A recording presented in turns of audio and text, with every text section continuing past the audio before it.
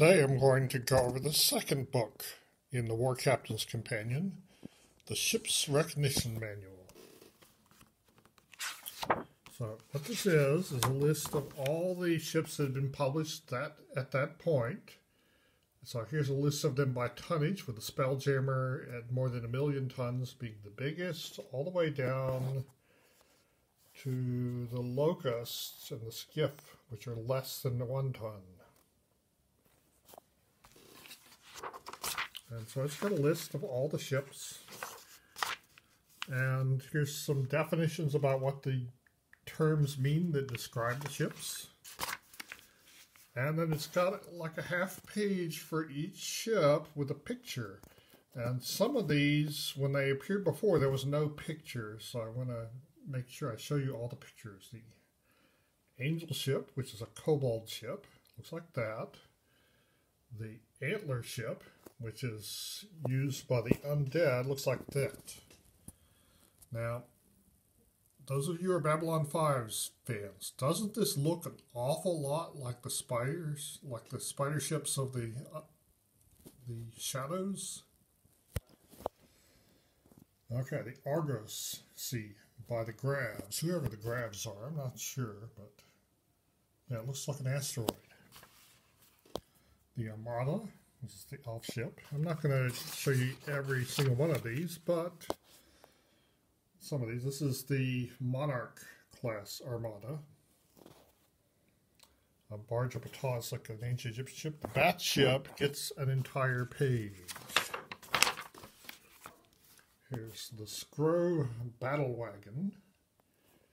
Uh, the Blade is a, this is a small two-ton ship, just a two-person ship, but it can be used to ram. So it's like a fighter that can ram. Uh, the Bloatfly. This is a the Bolo ship. It's like a gnomish tinker gnome ship. The Carvel, it's just an ordinary ship that you attach a helm to. Same with the cargo barge. And the catamaran. Here's an example of a dwarven citadel. It's a real shame that they didn't have a box set of living a whole dwarven citadel. Clipper ship, another Groundling ship with a helm attached. This one is used by the giff because I put lots of cannons on it. A coaster, a cog,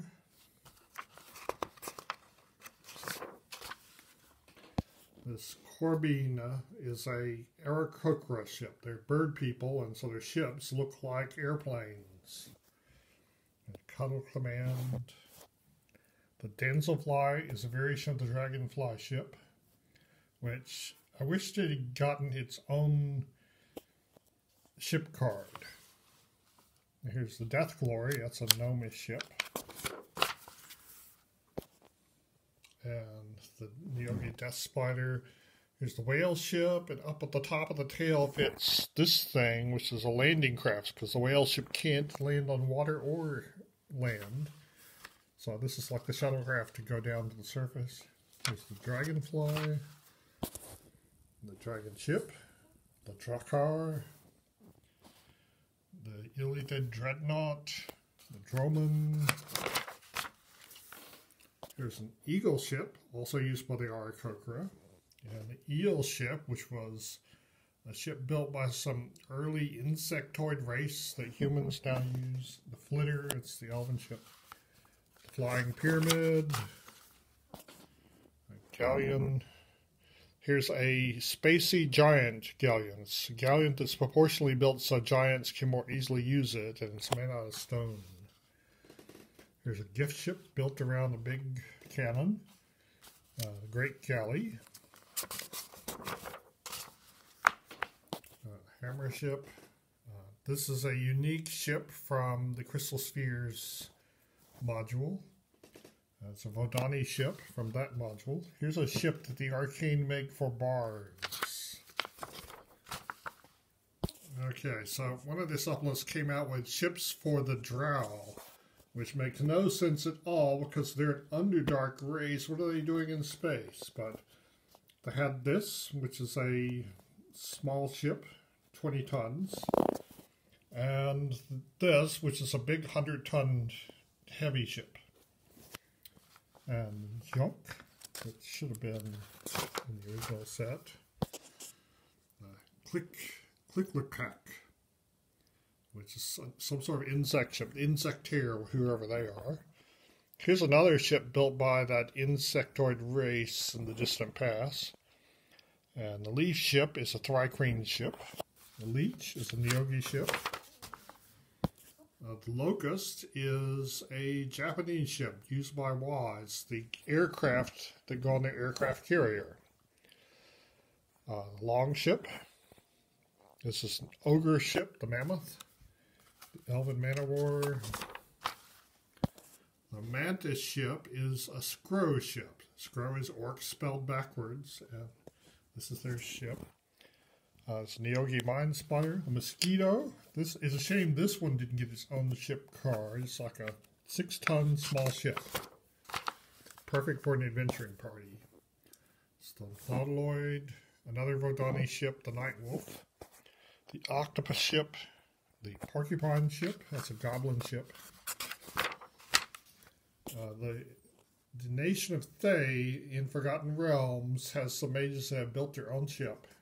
And that's what it looks like. And this one is a unique ship, which I'll be covering in a later thing. This is a radiant ship that the elves make. This is a Xixchil ship. The Xixchil are an insectoid race. The Scorpion ship's an orc ship. The Strike ship is a human ship. The Sidewheeler, that's a gnomish ship, has a giant space hamster who runs on a treadmill to wind up a giant rubber band which powers the ship. Tinker Gnomes, remember? Okay, so there's the skeleton ship that the undead use. A skiff used by the rock hoppers, whoever they are. A small jammer. Uh, the Space Leviathan, this was described in another book, but there was no picture. So here it is. And the Spelljammer and Squid Ship. Uh, this is the Stone Ship used by the Xorn. Looks like an asteroid to me. The Swan Ship, which is a Halfling ship.